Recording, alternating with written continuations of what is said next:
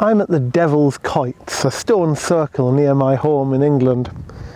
According to local legend, these stones were flung here by Satan himself as part of a game. In fact, about 5,000 years ago, Bronze Age settlers erected these stones, and that's not quite true. There were people here 5,000 years ago, and they did build a stone circle. Some of these stones were in it, but this is not that stone circle. That stone circle was looted for building materials in the Middle Ages, swept aside to plough a runway through here in 1940, buried underground to build gravel pits in the 1970s. This is a reconstruction. Does that make it less magical? People were here, ancient people, thousands of years ago. They had hopes and dreams, families and friends.